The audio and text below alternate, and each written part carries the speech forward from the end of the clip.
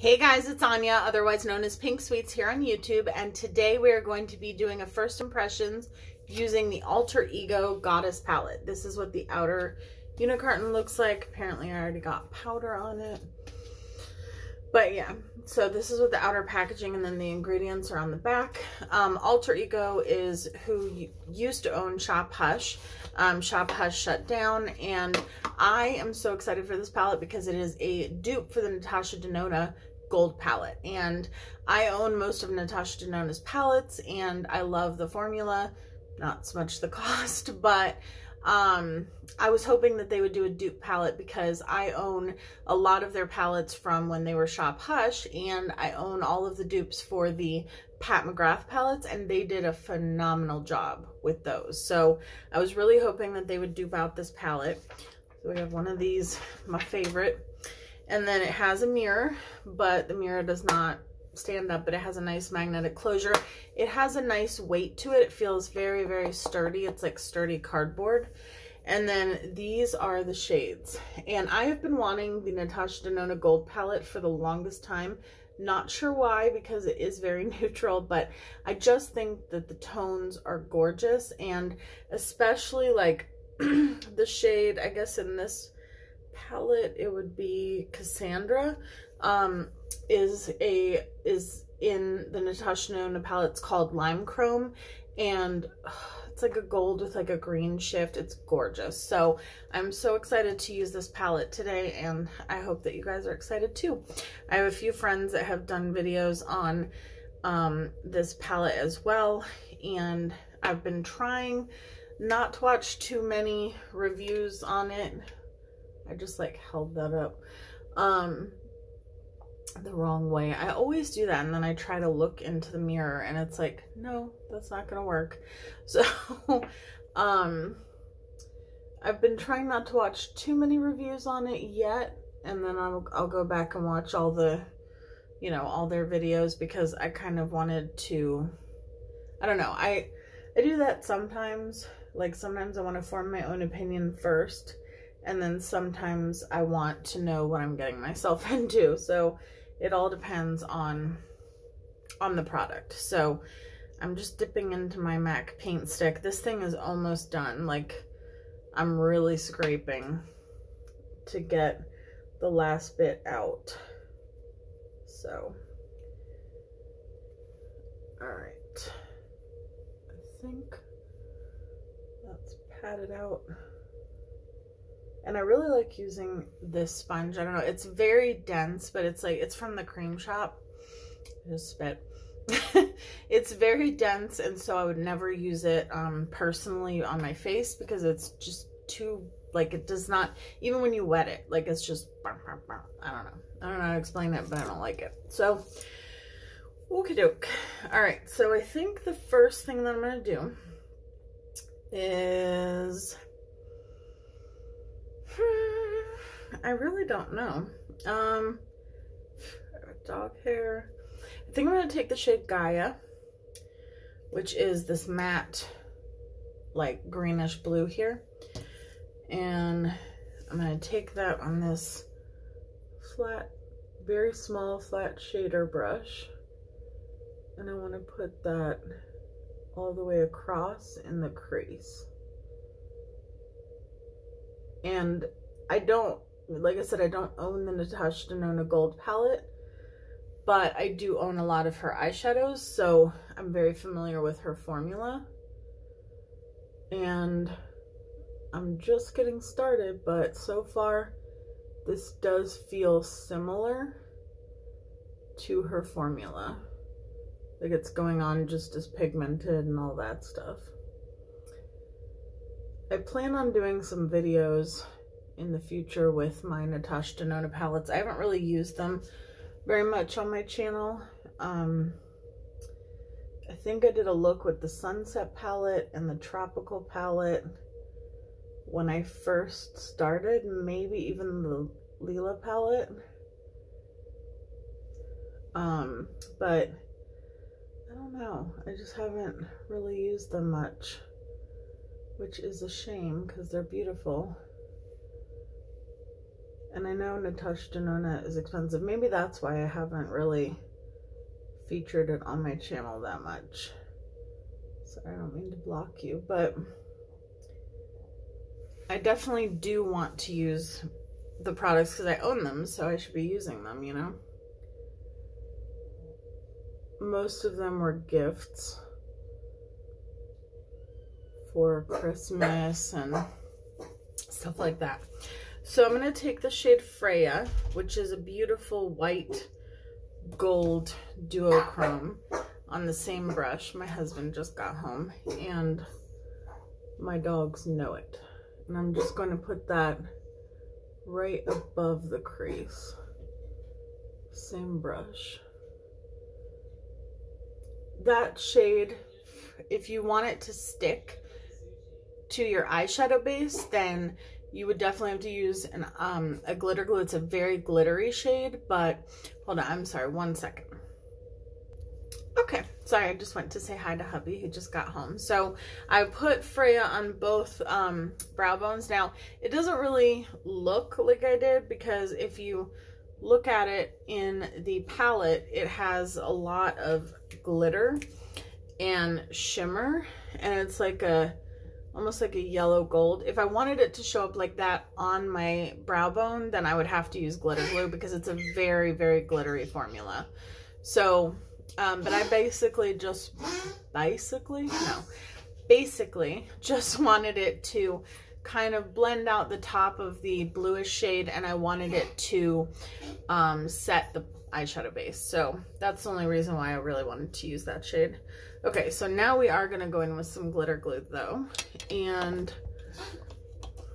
I don't know what I did with my glitter glue. Hmm. Oh, I was smart and I actually put it in my brush holder. So, okay, so I'm to take some on the back of my hand. Sometimes I put it directly on with my fingers. Sometimes I put it on with a brush. Today I'm doing it with a brush because since I'm not actually going to cut the crease with concealer, I want to be really precise with where I put it. So I'm hoping that this um, eyeshadow will go ahead and cover the staining that I have.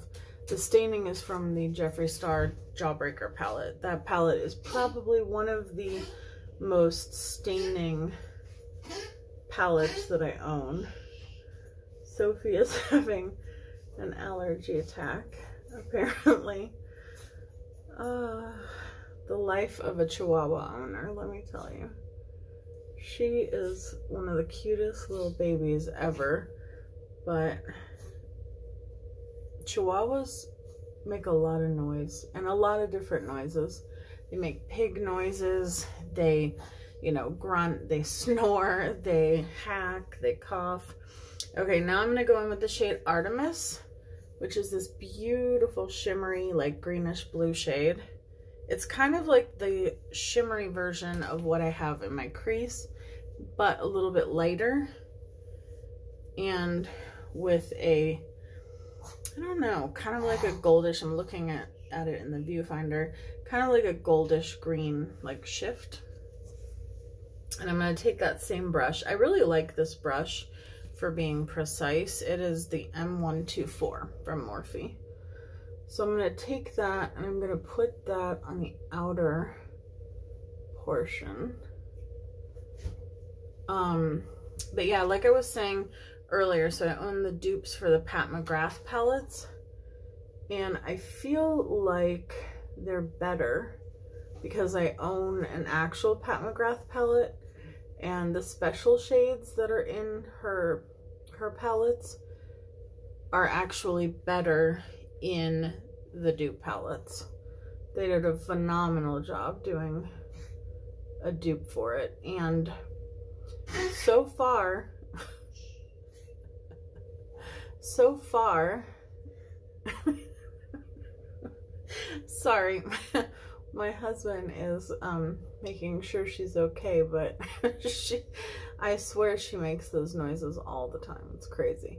Um, but the special shades that are in the dupe palette are actually better. They're just more pigmented, whereas the Pat McGrath ones are very sheer and just a, a hot glittery mess sometimes. And that they're not like that in the dupe palettes from the brand that made those is actually Bad Habit but it's a brand that Alter Ego or Shop Hush at the time worked with. So this shade is gorgeous. The only reason why it's taking so long to build it up is because um, I'm using such a small, like precise brush and I just want to, I don't want to go over the mat. I just wanted to go right below it. So I'm kind of taking my time, but it is gorgeous. And then I think I'm going to take Valkyrie, which is a, this is this shade. It's just a gold. I almost said a gold. So it's that shade. And then after that, we're going to take the shade I was talking about that is called Lime Chrome. Mm, it's more like a topper We'll see. I don't know. We'll start with Valkyrie and see how this goes. Oh, okay. Maybe this is the one that dupes the shade Lime Chrome. I thought it was the other one, but I think it's this one. Wow. That is stunning. Okay, I love that. I love it already. I'm still going to put a little bit of that other shade just to see what it looks like once I'm done putting this one down. Let me know if you guys have seen this palette. Oh, by the way, this palette is $16 instead of 129, which is how much the Natasha Denona Gold palette is. And I don't know, I can't believe that it's $129. I mean, I can't believe that this is only $16.99 or $16 when the other one is 129 because that's a huge price difference. And I can tell you formula-wise, not much of a difference in terms of um, formula quality and all that stuff and the ease of like using them. I might even say that this is a little bit easier to use than Natasha Denona because her shimmer shades are very flaky. Now these are these are flaky, but they're not um they're only like the really like glittery ones are, but I don't know. I just feel like hers are worse or more glittery. So I'm going to take this the topper shade and I'm just going to kind of put that all over the other one and it's just going to give it a little bit of a shift probably not make that big of a difference this is definitely more more of a topper shade that I don't understand maybe it would be good for like an inner corner highlight but I definitely think Valkyrie is the one that dupes Lime Chrome. I don't know. All right, let me go clean this up, do my base, and I'll be right back. Okay, so we are back. So I'm going to go into the Pac-Man Wet n Wild um, blush palette. And I think I'm going to use either this one or this one. I haven't decided, but I think for this eye shape, eye shape, eye tone, I think it will be the best choice. Um, yeah, so now I can go and watch my friends' videos.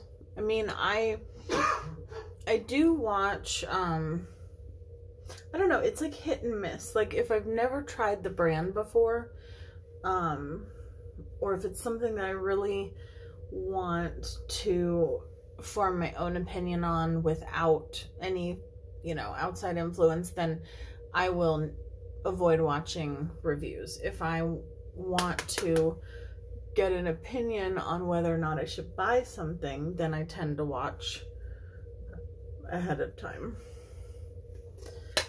And usually if it's a friend of mine that has posted the video, I'll watch regardless because, you know, but on this one specifically because I own so many Natasha Denona palettes and I really wanted to make my own choice, um, I, I think I've only watched one or two videos. No, I think I think just one. I don't I don't remember. I think it was just one. Okay, I'm just gonna clean this up. And I almost don't want to use any bronzer because it's a very warm blush, but I think I'll use just, what I'm going to do is sometimes I like to take just my bronzer brush and just run it across my forehead and my nose and not put any additional product because it usually still has like some bronzer left on there. What's so funny is I always talk about how my, um, I always feel like I get you know, foundation and powder in my hairline. And I was watching Alicia from X Sparkage today, and she did a video on how she refreshes her hair. And I thought to myself, same, because she was talking about how she always gets, um, she always loses her hair color or it fades first um, on her hairline because she's always washing makeup out of her hair or the makeup is like causing it to fade a little bit quicker. So I have that same exact problem. I feel like my hair color always fades around my hairline first because of the fact that I'm constantly like taking a makeup wipe or washing my face or whatever to try to get the makeup out of my hairline. And I think that because of that, it just causes the purple or whatever color my hair is at the time to fade quicker. So, and the hair color that I use, um, I don't like to get this purple. I don't bleach my hair first. So it's just going over my natural hair color, which is like a reddish brown. It's like an auburn shade. So, um, I have this one baby hair. So I had a baby hair. Wait, what do I want to do next? Lower lash line. I had a baby hair and I decided to cut it because it was like, I don't know, it was like probably down to like here. And then I just decided one day to cut it off. I don't know how to explain it. I was being dumb. I'm going to go into the shade Avalon, which is a chocolate brown. I think I'm going to use that for the lower lash line. And um, so I decided to cut it really short and now it's growing back in and it's driving me nuts because it keeps, like it's so short. See how short that is? And I constantly feel like I'm trying to like plaster it to my head so that it won't stick out. And that seems to be the spot that I get makeup on first. Sorry, I have something in my eye. Um, yeah, I like this chocolate brown. And I personally do think that this formula, the matte formula, I think is better than the Natasha Denona. And the shimmer, I think is better than the Natasha Denona. The mattes seem to be more buttery and more blendable, less dry. I feel like Natasha Denona sometimes has like more of a dry matte formula. And in terms of shimmer, the um her, like these shimmers tend to be less glittery and flaky than hers, which is the same experience that I had with the Pat McGrath um, dupe palettes. So I'm going to take a highlighter brush. I don't even know what I want to use as a highlighter. Can I use any of these? Yes, I can use Freya. Freya, Freya, I don't know. Let me spray my face just a little bit what's funny is that lately I've actually been liking the way that my highlighter looks better when I don't spray my face as much. I thought that I really liked liked it, and I do, um, but I don't know. I almost feel like I like it a little bit better when I don't spray my face, like when I don't make it like soaking wet. It blends easier. It's less patchy because when you're putting highlighter on a wet face, you know, sometimes it sticks in like clumps or whatever. Okay, I take my blush brush, just kind of work those two together. Oh, I know what I wanted to tell you guys. So, oh, now I can put mascara on my lower, lower lash line. So in September, I've decided that I want to do once a week, not more than, look at what I just did to my nose.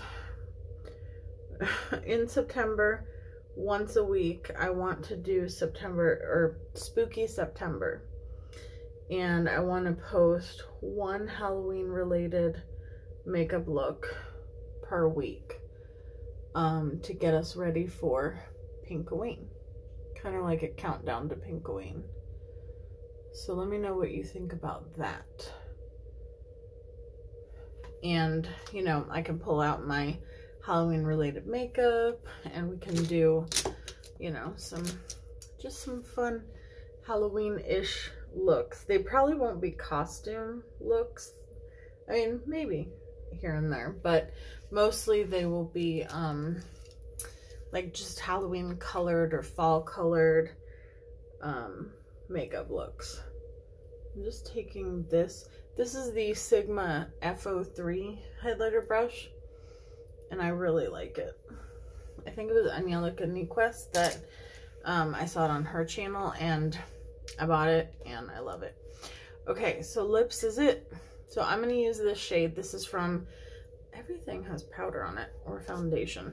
This is from Juvia's Place. This is in the shade Mina, and it's like a burgundy wine color.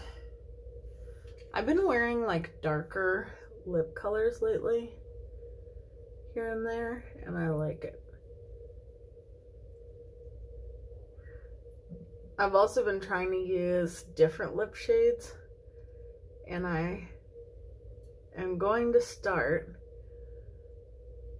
um, probably in August. Oh, I'm terrible at applying this.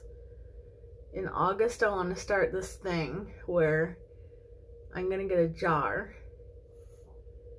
And every time I do my makeup on camera, I'm going to choose a different lip color to use.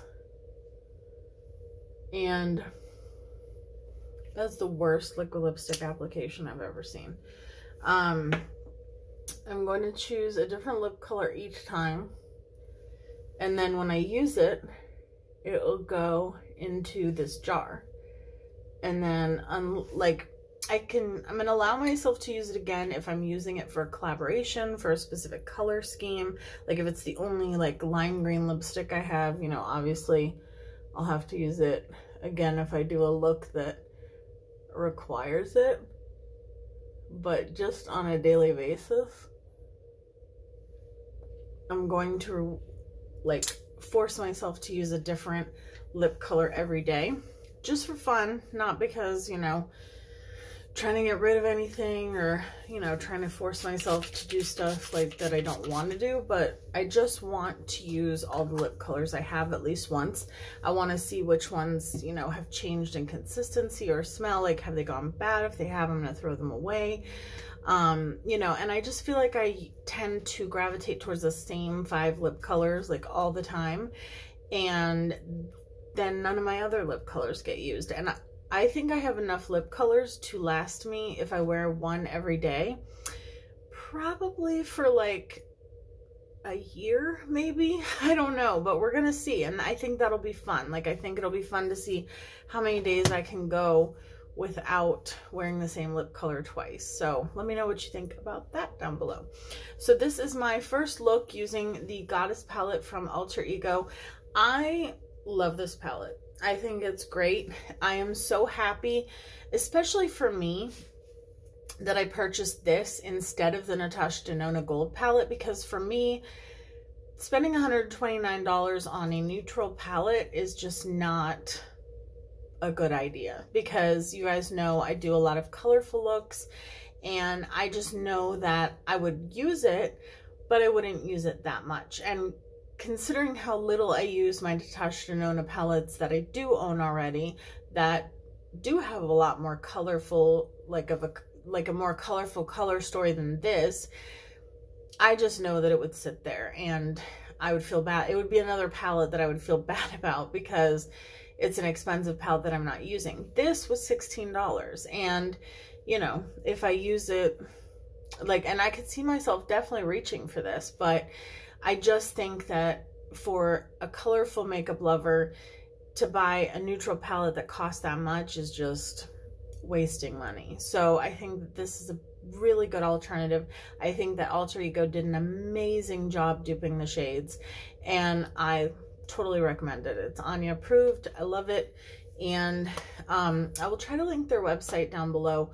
But like I said, it's $16. And I know that there are some people, if I can remember who has a code, I will link their code below as well because I know a lot of people have 10% codes. So you can get 10% off of the $16. So yeah, so let me know what you thought of this look. Let me know if you own the Natasha Denona Gold palette.